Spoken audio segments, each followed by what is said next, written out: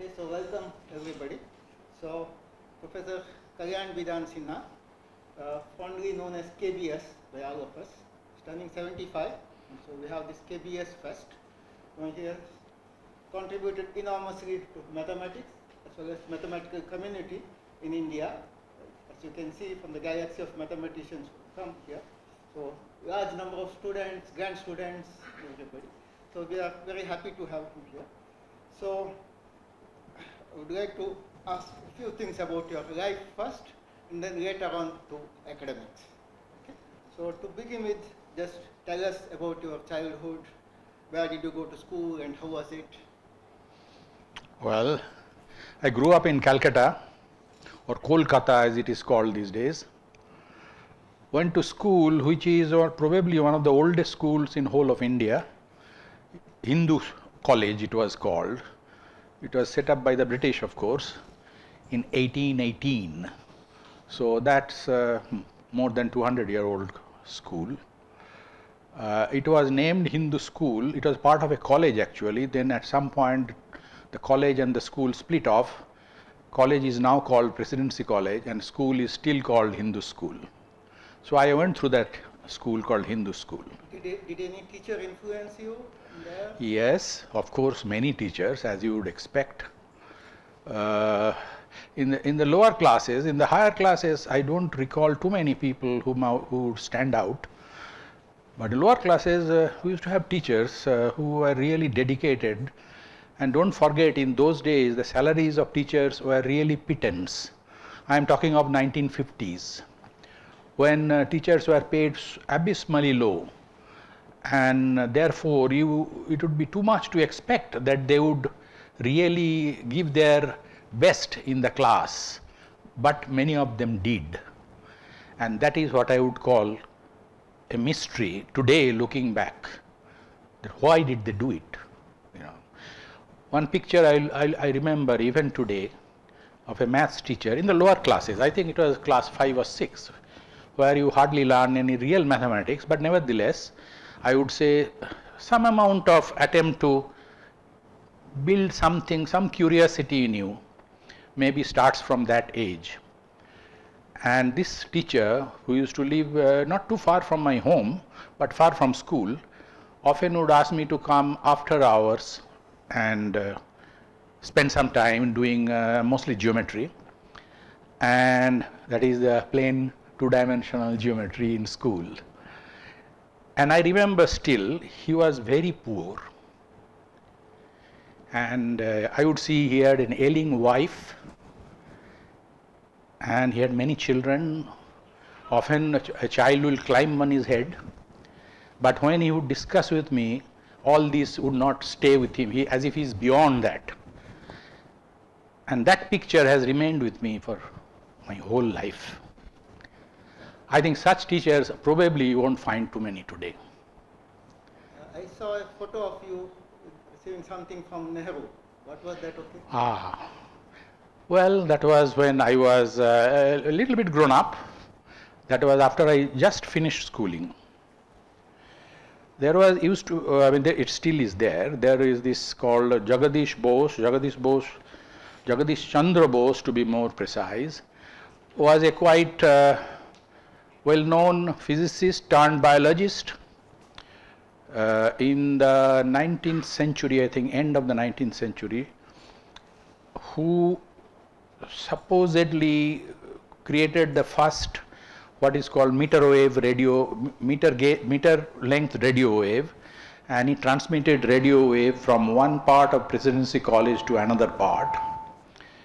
And that was before marconi but somehow marconi got all the credit and poor J.C. bose did not get any credit so jagadish chandra bose was a distinguished scientist probably one of the two or three very distinguished scientists from Bengal. And in his name, after independence, the independent government of India created, not government of India, I should say, it is only government of West Bengal actually, not India, of that state, uh, created a, a kind of a scholarship based on competitive exam, etc., called Jagadish Bose National Ti- Science Talent Search And that was the first year, 1961, when I had graduated from school. 1960 I graduated from school and this exam was held in 60 but the award was given in 61 and Nehru came to give that award and that is the picture you see of Nehru pinning the badge on uh, the lapel etc. Uh, that was held in the Raj Bhavan in Bengal in, in Calcutta and I remember walking to the Raj Bhavan. Those days, of course, there were very few cars. And uh, I remember walking into the Raj Bhavan. And uh, of course, that time were, I was very young and obviously in youthful exuberance. I would ignore uh, all security, whichever was there. At that time, security was very little, but even then, there was some security. But uh, I remember walking across and the security guards wanted to stop me. They said, why are you going there? I, I said, uh, I have some appointment there. But, so I managed to reach and uh, got this thing put on my lapel by Nehru. That was 61. Then the college, where was college? was Presidency College. And uh, I wanted to to enroll myself in mathematics. My, but my father says if you do mathematics, you won't get anything to eat. Which probably had some truth in those days. You won't get any job, you, you, you probably will be jobless and so on. So he said you should, uh, you know, uh, uh, my father was a, was, a, was a medical doctor, was a cardiac specialist. And as often it happens, I had vowed that I will never be a doctor because my father was a doctor. So I, I, I said I'm not going anywhere near a medical school. But then of course engineering was still there. In those days engineering was not as much craze as it is today. But engineering colleges were there. There was this famous engineering college in uh, Calcutta called, which has become an university now called Shibpur Engineering College, one of the oldest engineering colleges in India. So there I took admission, I, I sat for the admission test but promptly I disappeared from Calcutta. So when the, when the, the admission list came, and my father would send me, those days there was no phone, no uh, internet, of course, it's well before internet. So he had no way of communicating with me where I have disappeared because I didn't want to appear for the interview. So that they cannot even by uh, some device push me into the engineering college. So I think my father gave up and I didn't go to the engineering college. Instead, I took admission in, in, in Presidency College in uh, physics, uh, which was at that time very good in Presidency College. Uh, so I got admitted in the physics department of Presidency College, 61 to 63. You also meet C.V. Raman sometime? That was later in Delhi. In Delhi, C.V. Raman came to give one of some special lectures in uh, Delhi University. Uh, that was 64 and he died, I think uh, he died also not too long after that. So that was the only time I, I heard C.V. Raman and saw C.V. Raman. And I do recall his first sentence in the talk. He was at that time interested in colors why the rose is red and so on. He said, we have people in this country who like to wear roses in their lapel, but they don't know why the rose is red. Guess who he was targeting? Yeah. Nehru, of course. Yeah. He never got along with Nehru, C.V. Raman. So he targeted Nehru, saying that uh, he wears uh, rose, but he doesn't know why the rose is red. Yeah. Then, then you went to US, right? So yes, I went to US in 65, yes. Yeah. So and tell us about your university days. Well, as uh, I was thinking about it, and I think, uh, I don't know whether Peter is here, but even if he is not here, he was talking to me. You see, those days, I went to physics department. I got admitted into various physics departments. And you see, it was 60s when you must look back in the history. Quantum mechanics had just become, or a, within 10 years of quantum mechanics becoming eminently successful. in a sense, one of the most successful theories of all times in physical sciences. So there is a considerable amount of aura of romanticism about it all over, all over. In fact, I think in, uh, in the room of Gadadhar once I was sitting there and his advisor Douglas was uh, visiting and I remember having a brief conversation with Douglas and him mentioning that he actually wanted to do quantum mechanics, right? The, uh, Douglas said he want, actually wanted to do quantum mechanics, but something happened and he didn't get to do quantum mechanics. So I think Douglas was probably, probably a little bit older than me, not too much. And probably, so that is the or era when uh, quantum mechanics had a kind of a extreme romantic kind of figure von Neumann has just disappeared from the scene and there was, oh, there is Peter coming. Uh, so there in United States at that time had lot of programs in what was called mathematical physics. Okay.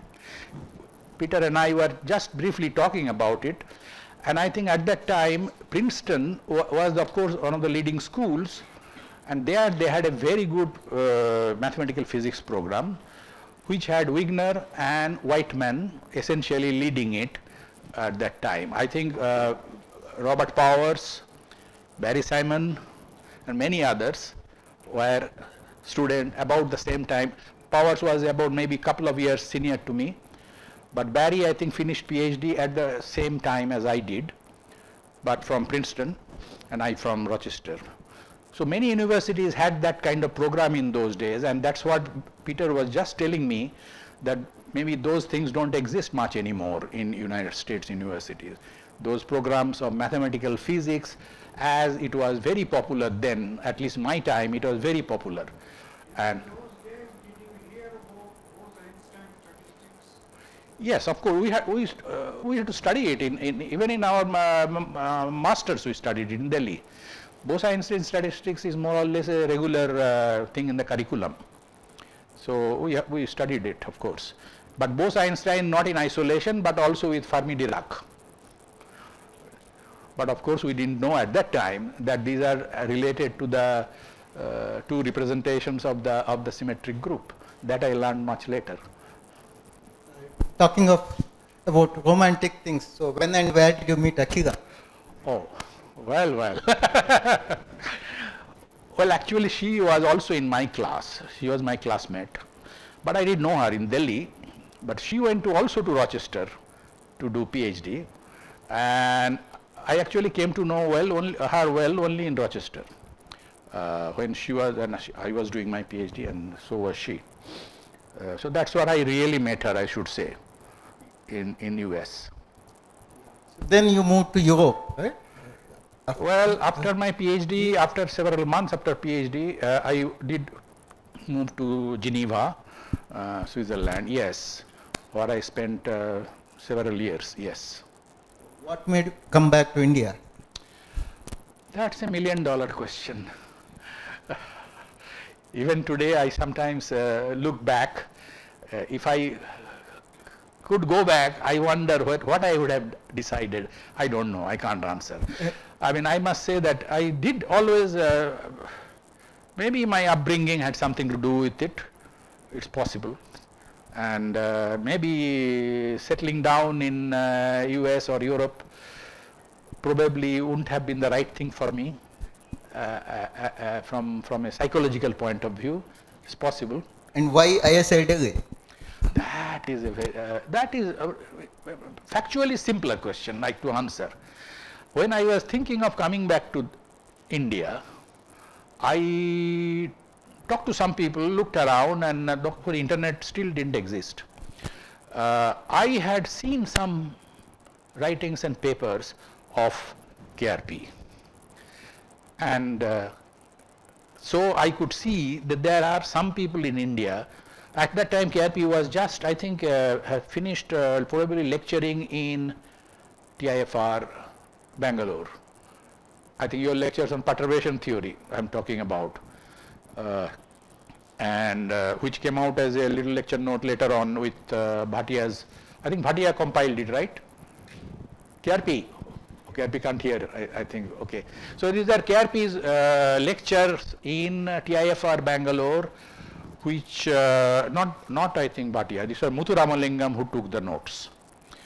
And uh, those I came across. And at that time I was deeply involved with uh, Schrodinger operator theory and spectral theory and so on and so forth.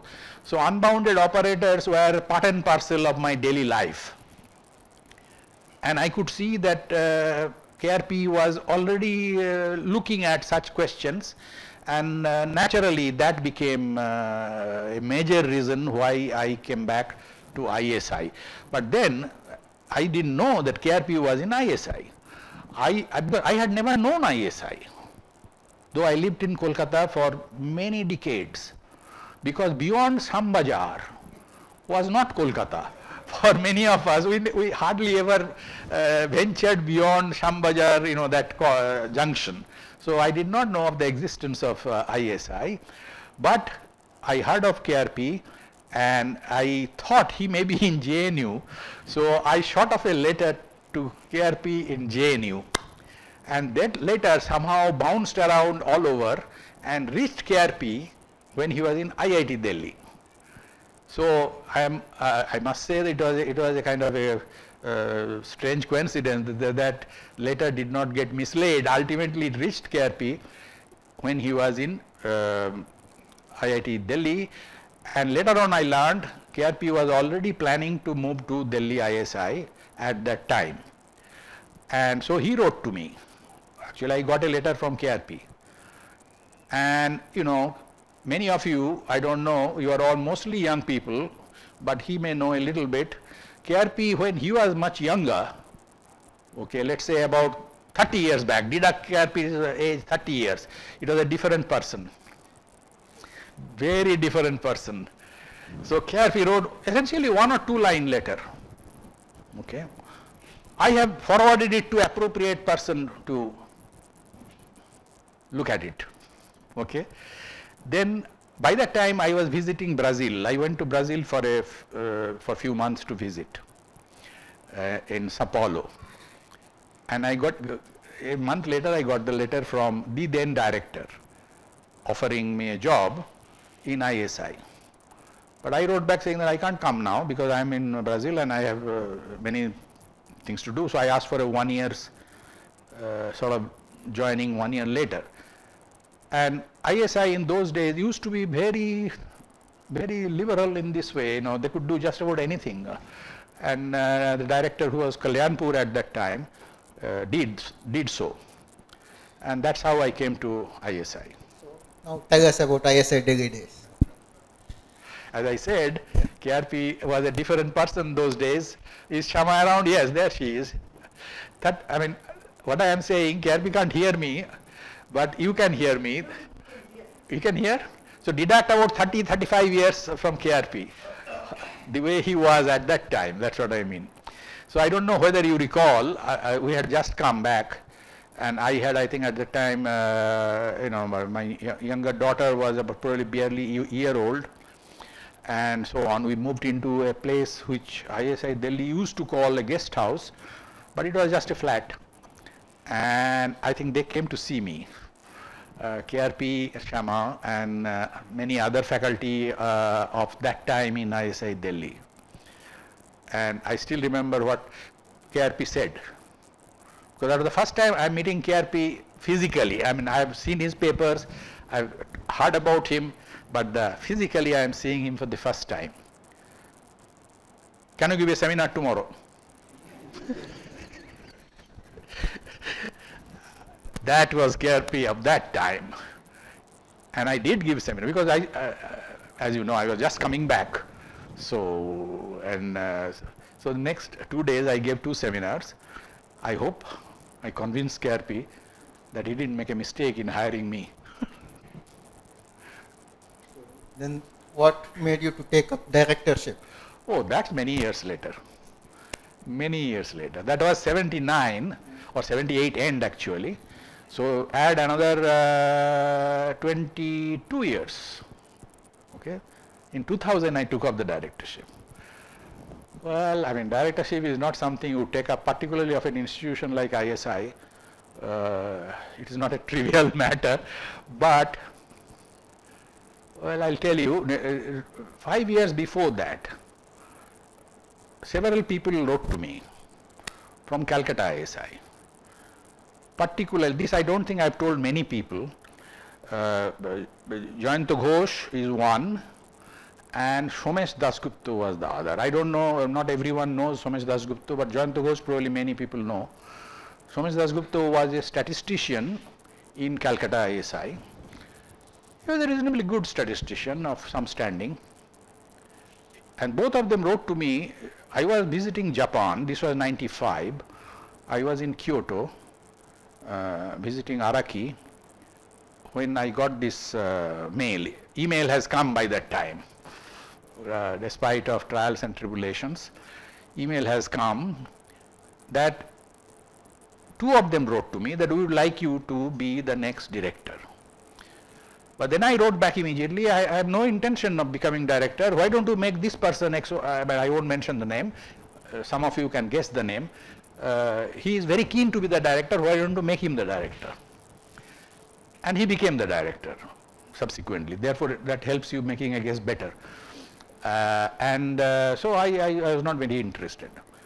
But five years later, it is not that I was interested, but I thought that maybe, of course, as I learnt later, erroneously I thought, but then we as a human being often make mistakes.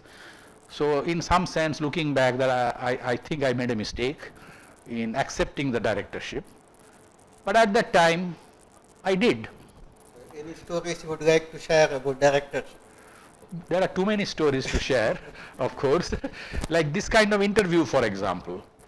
Before 2000, I was, it, will, it would be alien to me. I would run away, okay, from this kind of interview with lights and so on. But after becoming director, this became a commonplace. Almost every other day you will have such a, such a, such an event of some kind. That's why today you do not see any trepidation because I have put myself in that mental frame.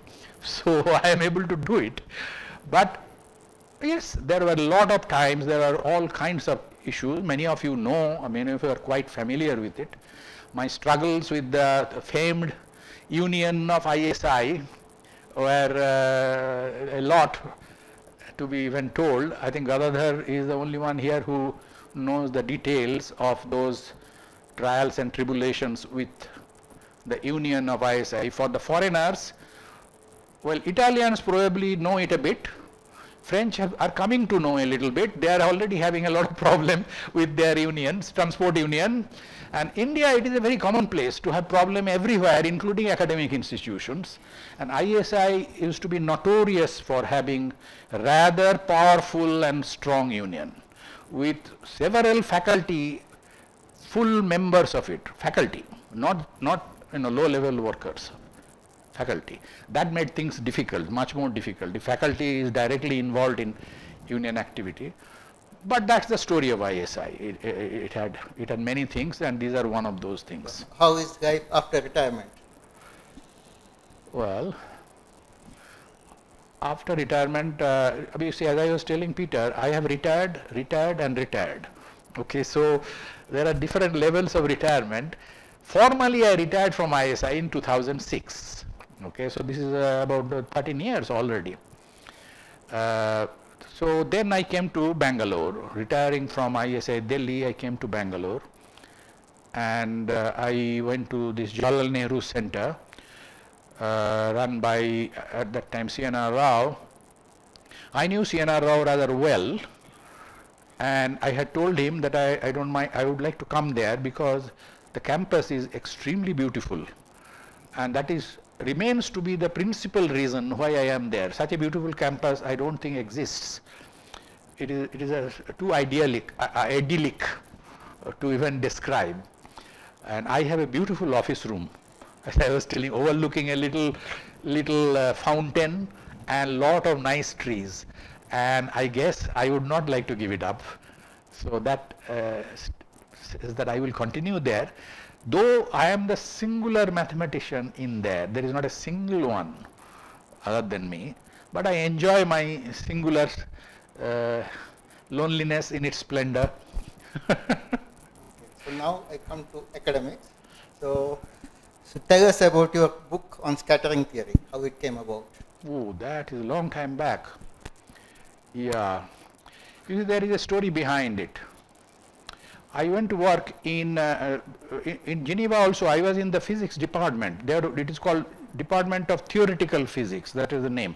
Unlike in US, where there is a Department of Physics, Department of Chemistry, Department of Mathematics, and so on. In Europe, old days, organizations were a little bit different. So there was a Department of Theoretical Physics, Department of say Experimental Physics, and so on. And they together come into in, in, in Geneva they used to call it section de physique and so I don't know how to translate section. Uh, Uwe, is there any proper English translation of section de physiques? But they will say département de uh, physique théorique. Okay, so there is, which is a subset of the section of physics. School, school of physics. School of Physics, yeah, School of Physics, the Department of Theoretical Physics. So what happened? I went there in 1970, okay, and uh, there was this uh, uh, senior professor, uh, Joseph Jauch, who was a student of quite a famous Swiss physicist, Wolfgang Pauli. And uh, Wolfgang Pauli is a very famous physicist many of you have, probably heard his name, who wrote a recommendation letter for a young postdoc he sent to US for postdoctoral research. One line recommendation letter. I have nothing against this young man. And that got him the job. that was Wolfgang Pauli. So coming back to Geneva, the book came about this way that uh, there was a book that uh, Joseph Maria Joseph Jauch was planning to write on scattering theory. But then something happened. He he was not unwell, but something happened and he suddenly died. Okay. Uh, he was not that old by European standards. He was, I think, 64 or so. Then you see, he left some manuscript sort of two or three chapters. And myself uh, who was uh, quite young then and uh, another colleague of mine Werner Amrein we discussed it. We said what should we do with this? Then we decided to complete the project keep his name okay but we will write it our own way. So we wrote it our own way. We divided more or less the work equally Werner and myself I think he wrote all the even chapters, I wrote all the odd chapters. Some such way we wrote, divided the work, and uh, then uh, then we'll pass on each other's chapters. He will read my chapter, I will read his chapter, and so on. So it had I think 13 or 14 chapters. Uh, then uh, we had a contract with with this uh, company uh, which I think doesn't exist anymore Benjamin, which has been taken over, which was taken over by Addison Wesley, then Addison Wesley was taken over by Academic Press, Academic Press has been taken over finally by Elsevier. So these are the big fish eating up the small fish continuously. So that is, so that's when we wrote that book, okay. And at that time, you see, we wanted to give a little flavor of physics also in it. That's why our book is written with a slightly different spirit uh, we wanted to justify why physicists ask the question that they ask. Okay, they have a certain reason of asking those questions. So we wanted to emphasize those. So we wrote the book and we finished it. I think in 75 or 76. I don't remember exactly. Then we held a party in the department, and with uh, with uh, what is it called? Uh, with uh, sangria you know, some wine and fruit juice. And as it happened, Barry was just visiting, so we invited him. So he came to the party, and oh, and Vaughan Jones was also there. But Vaughan Jones was a student in uh, in uh, Geneva at that time. So Vaughan Jones was there, Barry was there, and they drank a little bit. I mean, Vaughan jo- uh, Barry doesn't drink much, so he just took a little glass of it, and and I still remember what he drank to, He's not here, to competition. Because his first volume has already appeared. And if you remember, his by his first volume, I mean, Krishna is not here, Reed is not his first name. Okay, this Reed and Simon, volume one has already come, but volume two was yet to appear or about to appear. And volume two starts with a little bit of uh, this, these subjects, mainly self-adjointness of unbounded self-adjoint operators. It, it concentrates on, and the scattering theory comes in volume three and four, etc. So that that is still in the future. So that's why he drank to competition. I still remember drinking to competition. So that was our book, which was published I think 76 or 77, I don't exactly remember. And uh, I am told it is not available and the old copies are, are, are internet you can see old copies are being offered for uh, some exorbitant prices. let us know then about uh, embracing QP in collaboration with KRP. Uh, well, yes. That is Delhi. I, I, had a room not far from KRP's room, just as you know, just across the corridor. So I was at that time just I think Krishna has uh, about to finish PhD or uh, has finished PhD. That was 80s. And KRP of course as is his habit, he would often come and write on the board, you know, this problem can you find out uh, what, can you say anything? So he would do that all the time and I would not be able, to, I would be able to say something sometimes, but sometimes I won't be able to say any much. But at that time KRP was just in the middle of, I think 84 their paper appeared, the, the, the, Hudson Parthasarathy paper 84. So that was roughly the time when uh, it was happening. 84 I went to the US for a year, okay and Canada and US. I was in Canada for uh, first semester, second semester I, I, was in US and I came back 85. I think after I came back I started collaborating or learning and collaborating with KRP. Earlier I had already taken because my knowledge in probability theory is, was rather rudimentary.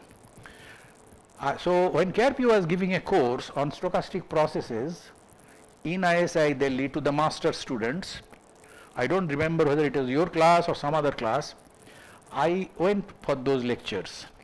I sat in those lectures and I learned a little bit more serious theory of stochastic processes, more or less a la Kolmogorov and then KRP's unique style of presentation.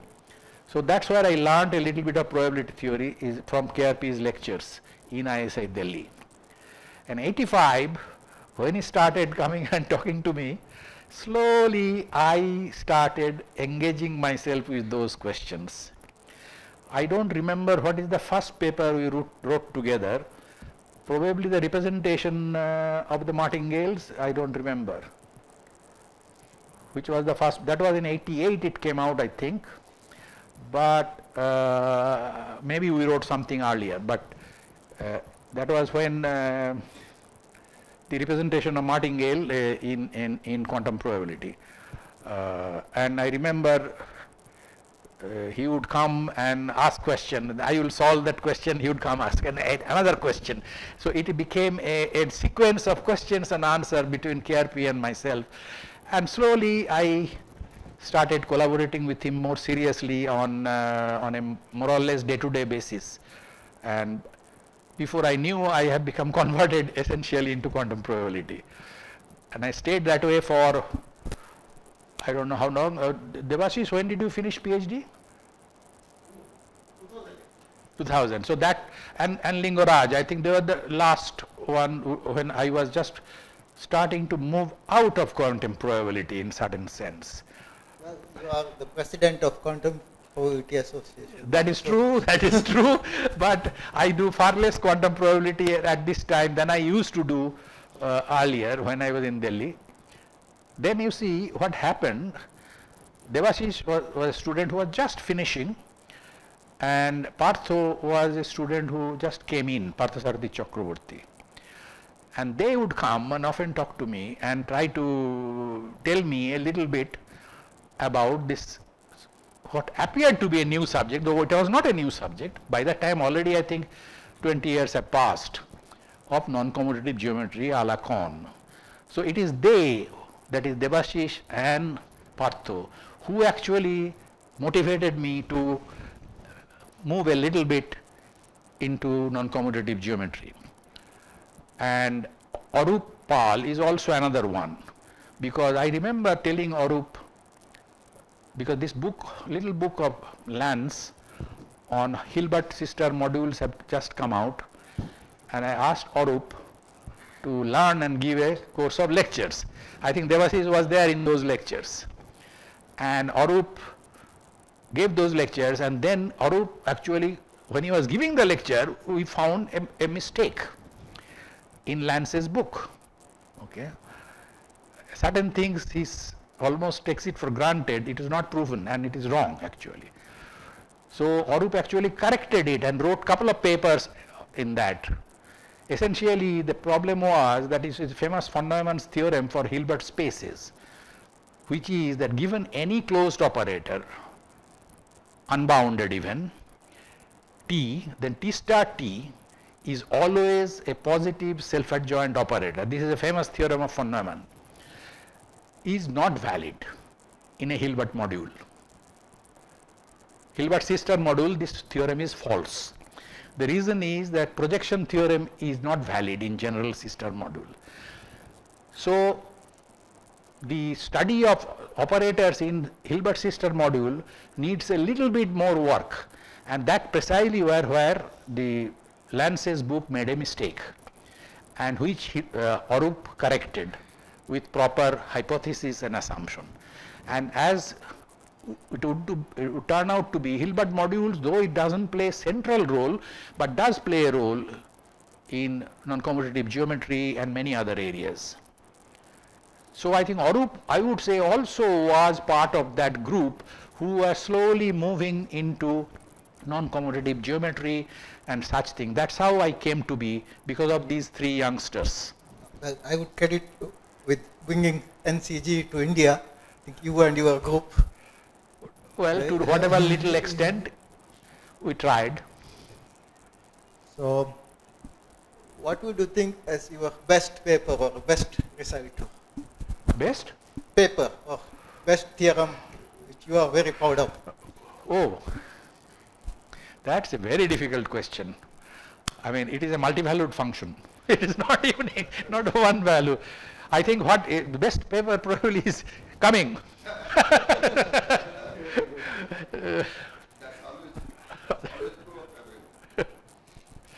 yeah. So.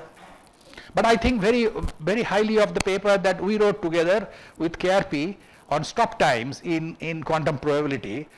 I, I still keep coming back to it time to time. The paper uh, on on stop times in quantum probability So what is your opinion about current situation of mathematics research in India? Oh boy, that's even tougher. well, that I mean that's a that's a very loaded question, and uh, I probably should refrain from giving my real well, real view. What uh, should we do to improve? Uh, that's a different thing. No, you see, the point is, I, uh, you know, when I uh, was much younger and was more involved with the so-called mathematical scene in India, I faced the first issue that I faced, which I think KRP also had faced faced earlier. This division between what was called pure mathematics and applied mathematics. There is an enormously sharp division, okay, and enormously difficult participants on two sides. I think now Gadadhar is, is, the person more engaged in these things, but uh, I would often say that there is no such division. I would say there is only good mathematics and bad mathematics. Uh, but applied mathematicians don't buy it and uh, uh many of them have often badmouthed me. Uh, I think uh, Gadadhar may have heard it from some of his colleagues, ex-colleagues. So this is a problem in India. It keeps coming back and forth. But I heard something quite disconcerting the other day when we were having lunch that this is apparently happening in the world stage now, not just India. You see, computer assisted mathematics and applied mathematicians, so-called applied mathematicians, apparently are in the ascendancy and they are exerting themselves and taking over many of the of the organizations of the of mathematics at the world level. I don't know what future has in store, but that is something one has to worry about. Then what is your advice to youngsters here?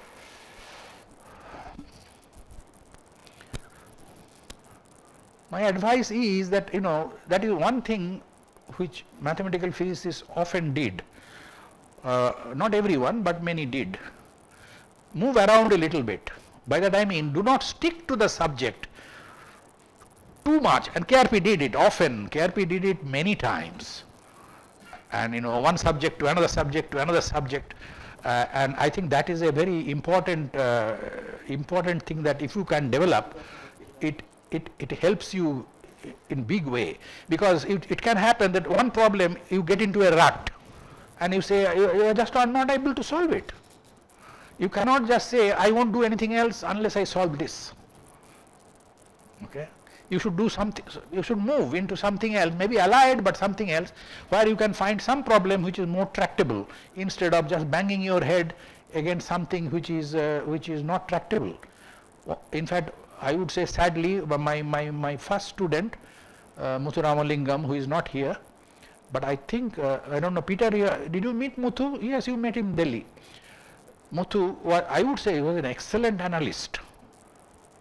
And KRP I think will, will agree with me that he is an ex he was an excellent analyst. But at a certain point in time he started working on you know these uh, problems uh, of scattering theory again, but with operators which are not, which are a little more problematic has a critic, so-called critical set, which is not a not a small set, but it has a relatively large critical set. Then you have you have some issues and, and analytic issues which are little more complicated. And I, I was told that Hormander tried it and he got into uh, he could not solve it and Horban uh, and Muthu took it upon himself to say that if he cannot solve that problem, he, will, he would not touch anything else. Unfortunately, as it turned out, quite sadly for, I would say, mathematics, that he didn't do anything else after that. And that's very sad. That, you know, stuck with a hard, hard, very hard problem, and then you say, I won't do anything else till I solve that problem, is a very sad thing. So I think it is best for youngsters not to get into that kind of a rut and, and, and, and say that I won't do anything unless I solve this problem. I would say even in a bit uncharitable note, uh, that is just saying that I won't do anything.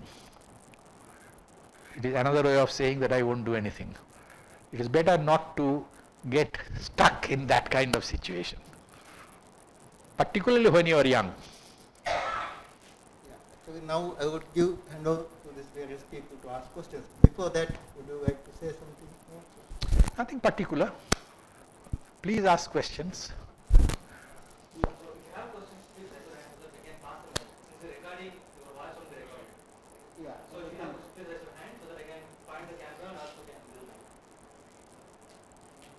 No one wants to ask question.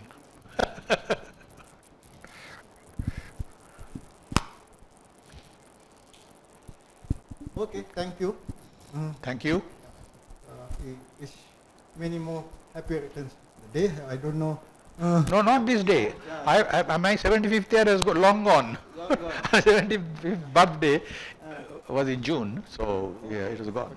we wish you a long life. Thank you. Productive life and many more papers. I hope so. Thank you.